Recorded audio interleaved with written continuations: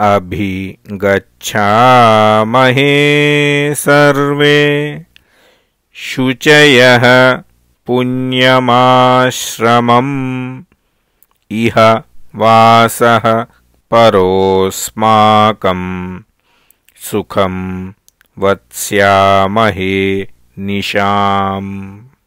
स्नाताश्च कृतजप्याश्च हुतहव्या नरोत्तमा तेषां संवदतां तत्र तपोदीर्घेण चक्षुषा विज्ञाय परमप्रीत मुनयोर्हर्षमागमन् अर्घ्यं पाद्यं तथातिथ्यम् निवेद्य कुशिकात्मजे।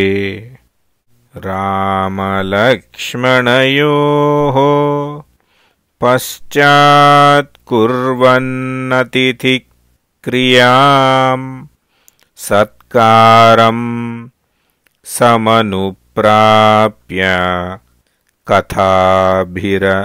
कथाभिरभिरञ्जयन् यथार्हमजपन् सन्ध्याम्। ऋषयस्ते समाहिताः।